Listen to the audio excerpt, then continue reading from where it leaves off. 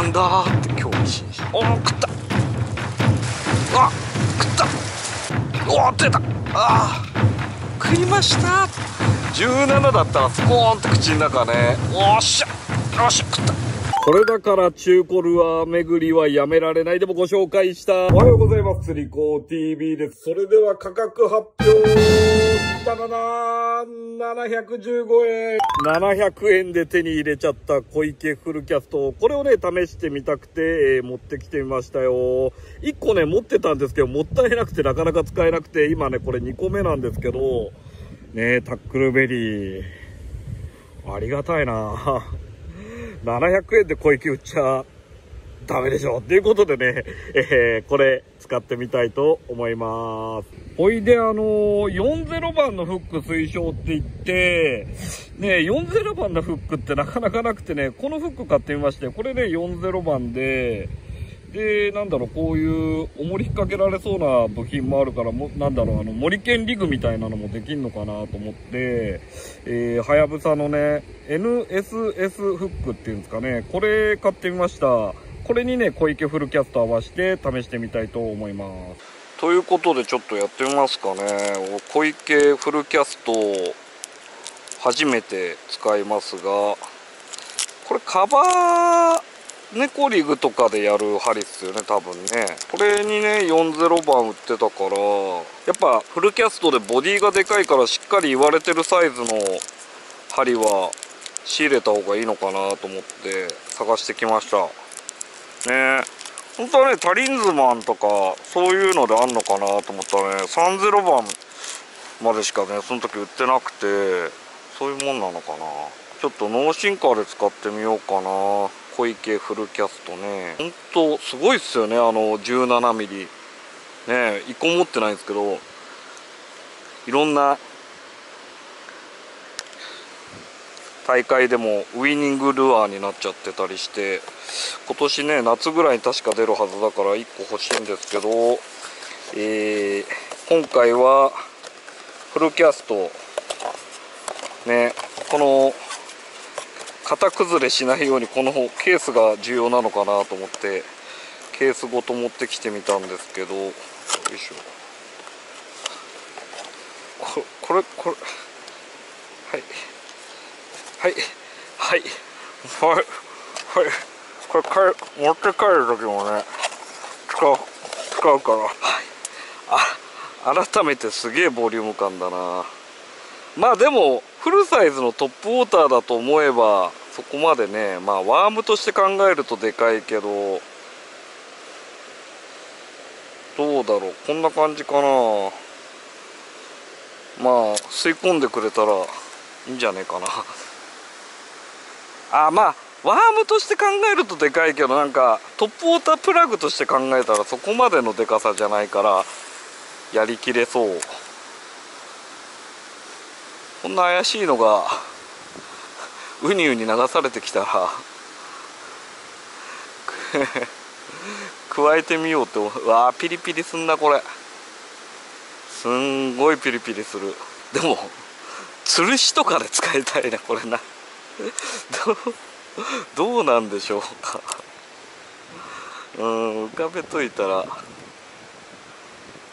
あすごいなこれ。へえ面白い。ダビダビダビダビ動いて。えー、フルキャスト釣ってみたいな。これ面白いな。確かにフルキャストでこの感じだから 17mm とかだったらそりゃ餌な感じのボリューム感になるよね。あれ？どこ行った？あいたいトップ使いだったらちょっと派手なカラーの方がねちょっとすげえ馴染むなこれああこれ吸い込まれてほしいななんか落ちてきたよってか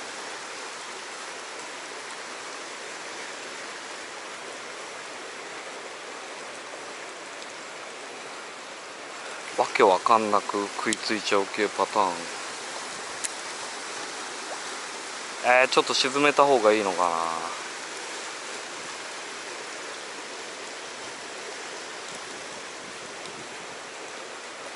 な。すげえ水面に張り付くねこの毛が。絡みつく。うわ面白いルアーだな。40アップとかないとこれ口にズボって入んないかもしれないね。うん。ちょっとフルキャストと一緒にお散歩してみたいと思います。岸際にぶつけて落とす系はね丈夫な素材だから大人のものですよね。ですごい静かにファサッと落ちてくれるからちょっと大きめの虫とかを待ち構えている状況だったらなるほど効きそうっていう。うん。ちょっと水中に入れるリグの前にこういう浮く特性を生かしたトップウォーターみたいな感じで釣ってみたいんだけどな。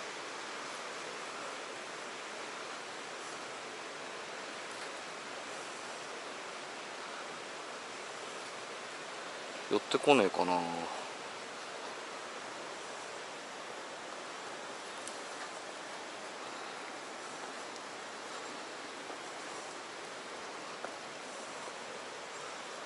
岸際になんか気にしてるバスが見えバスがいっぱいいれば聞きそうなんだけど今日そういうのがちょっとあんまりいないんですよね。美味しいぞ小池だぞ。吸い込め。お吸った。あ小池吸いましたけどちょっと小バスだったかな。今なんだろう。水面でピリピリドリフトしてたら何かが吸いました。吸われたよ。えー、ドキドキすんなこれ。やっ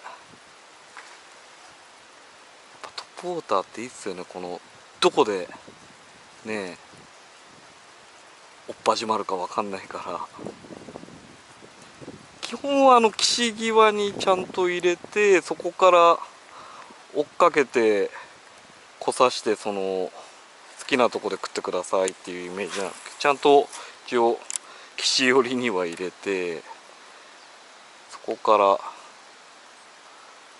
張ってきてどっかであさっき雨一瞬降り始めたんだけどそういう瞬間とか風が吹き始めでも今日ぐらいその波立ってない風当たってない状況の方が絶対この波紋を見せやすいはずだからら辺で食ってくれると超面白いんだ。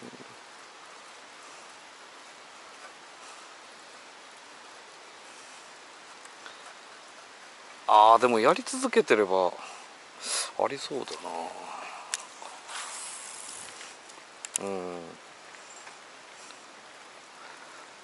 すごいこのボリューム感の割にソフトに対岸にぶつけて落とせばすげえソフトに落とせるのはいいっすね。たまたまスクールしてきたバスとリンクすればいつきのやつとかちょっと吊るしとかじゃないから難しそうだけどふわーって回遊してきたやつとかいけそうだけどな。ラインはですねこれフロロの20ポンド。でかいバスがバッコシってもいいようにちょっと太めの糸でやってみております。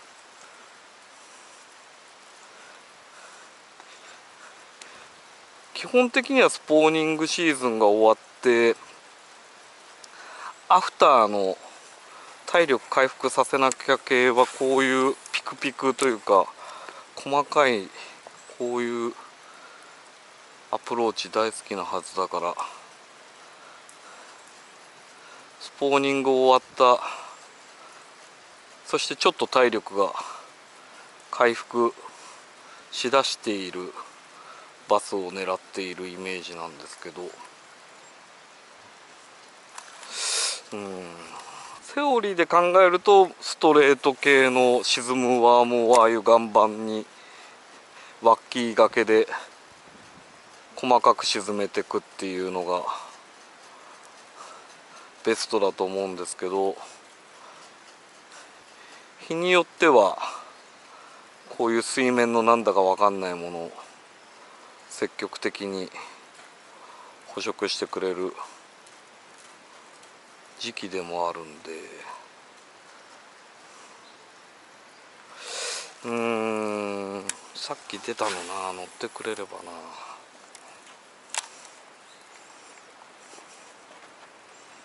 毛が太いからこうビヨヨヨヨンってなんか余韻の長いアピールしてくれますね。夏の早朝とかに本気でこの攻めしたらこれバスたまんないだろうななんか。セミ食いますみたいな。自分セミ好きですみたいな。ババスにこの攻撃したらこれはたまらんだろうな。細かく打っていけば絶対どっかでジュバシュってありそうなんだけどな。あ初めて見えバスちっちゃいの見つけた。後であれを狙いああちびバスがなんだって興味津々。そこへ追っかけてきてる。気になるけどさすがにっていう感じで反応してくれない。ああおお食った。すごい。食った。よいしょいたいたいたいたいたいたいたいたいたいたい。たバイバイ。バイバイ。食ってた。食ってた。ちっちゃいバスに気を取られたらちゃいバスが吸い込なんかなんか小池の葉も見えねえなと思ったら加え込んでました。すげえな小池フルキャストにどうですかね今。一応一応タッチしたんですけどはなんか40番のマス針が手に刺さって取りっぱぐれました。すげえ。これは 面白いなフルキャスト。はい引き続き小池フルキャストな感じでやってみております。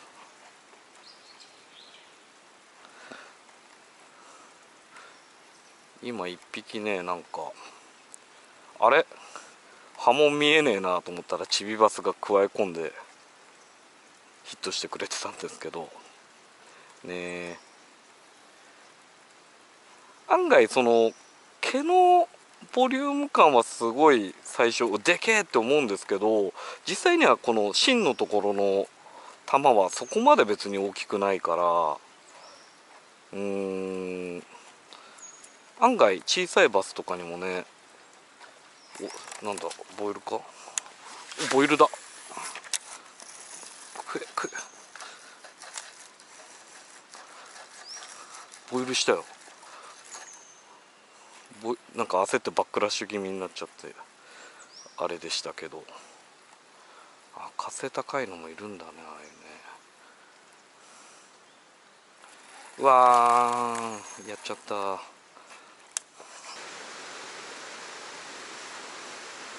ダメだ。トップ使いに出ません。ちょっと重りしょばせるか。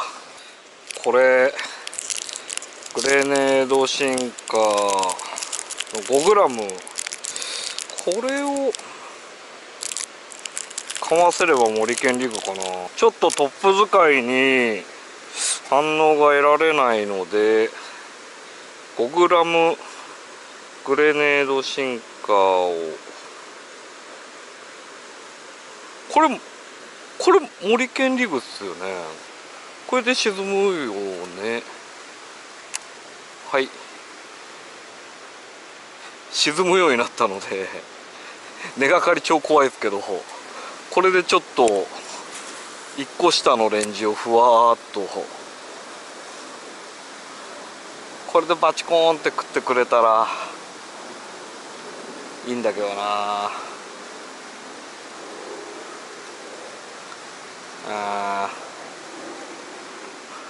でもここは根が刈らないであろうってとこしか投げたくないな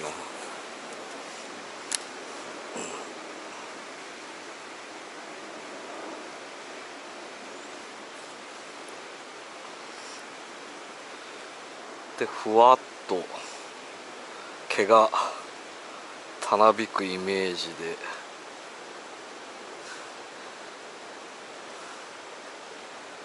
えー、どうかな？こういうことじゃないのかな？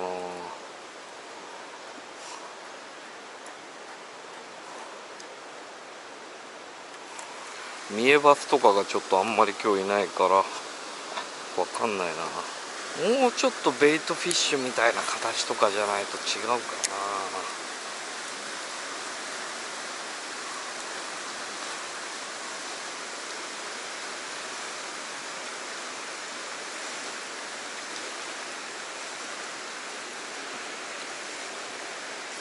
あーベイトフィッシュいるよ。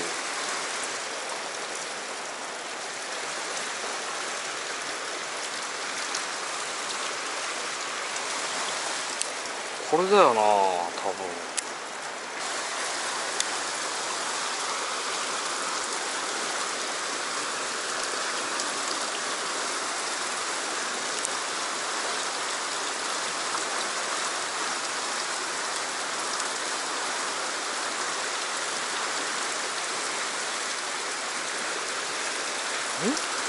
バスじゃないの？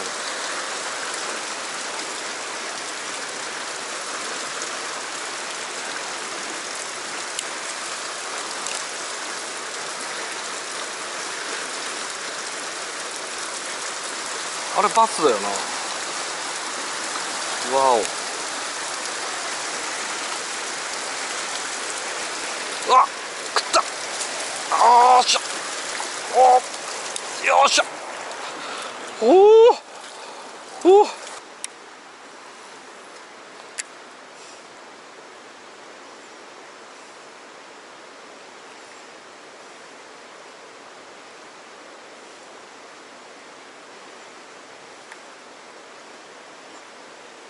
よっしゃ。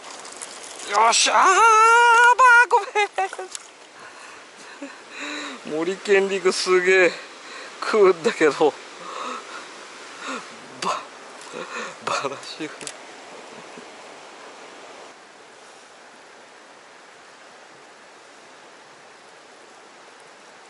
おお出た。あすげえ。あー。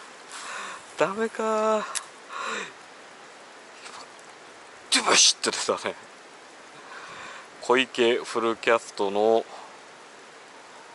トップウォーター使い。まあちょっと針がね上向いてんのかな。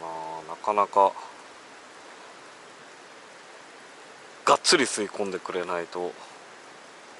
あれだけど今の出方良かったんだけどな。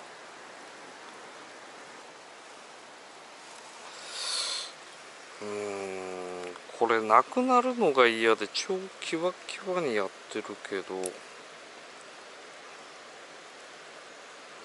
ちょっと薄出し気味にすればこれでフッキング良くなんじゃないかな。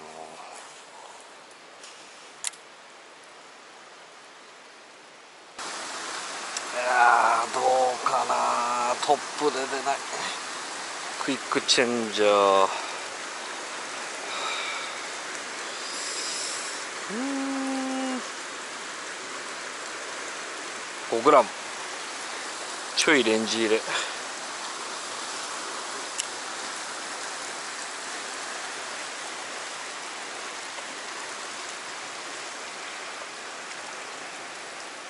あーダメだな。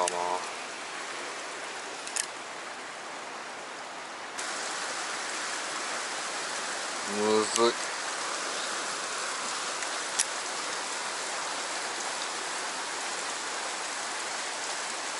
お食っクイックチェンジャー入れて森健風にしたら食いました。よいしょ。よいしょ。よいしょ。はい。えー、っとですね 5g のクイックチェンジャーをつけて沈めたらやっと食ってくれました。ねトップでもね出たりして面白いんだけどもいまいち食い切らなくてこれモリケンリグでいいんですかね？こんな感じで。ね。フルキャストね。タックルベリーで出会った。あフルキャストに食ってくれました。イエーイ！はい。でタックルはね、えー、ロデオクラフトホワイトウルフの17ポンドクラスにあこれ小池フルキャストでここにこんな 5g の重りつけて森県リグ風でやってみております。ちょっとトップには食わないから流れにこうドリフトしながら乗せていたらようやくね。ただやっぱこのグニュングニュンがあるからね本当ね40番の針買ってきたんだけどやっぱ小さめの針だとこれ。確かにうまくかかんないのかもしれないな。40番以上の針で中層をふわふわしていたらゴーンと食ってくれましたよ。いやー 7g のクイックチェンジャーとかも欲しいな。もう1個下のレンジにおねえ入れたい時なんかはもうちょっと重めのチェンジをしたいですもんね。あ勉強になります。いやーどんどん魚刺してくる時間だからね。大切に打ってればいい感じ。もうかけたらこち釣りじゃないけどもうゴリ巻きしてねえ抜き上げちゃうしかないなこれ。ファイトしてる間にちょっとバレちゃいそうだもんな。このよどみに 5g シンカーで沈め込んでいったら食ってくれました。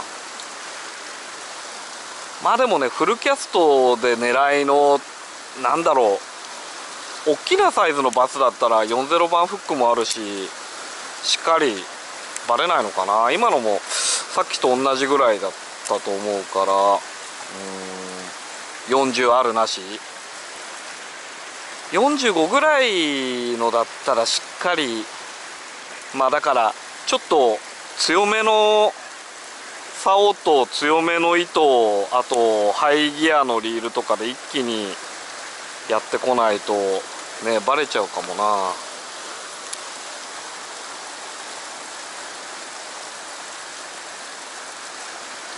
あーちょっと重めのシンカーでこの流れに負けないぐらい下にスコーンって入れたらでっかいのいそうなんだけどな。今日ちょっと持ってきてないんですよね。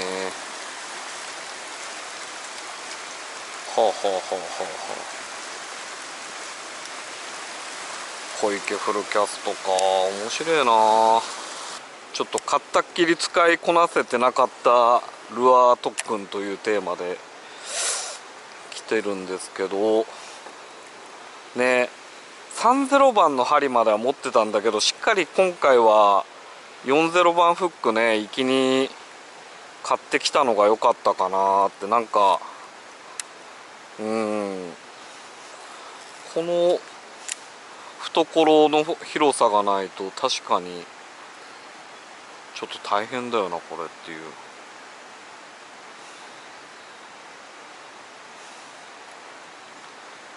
すげえなよくこんなルアー思いつくよな使ってて楽しい。うん。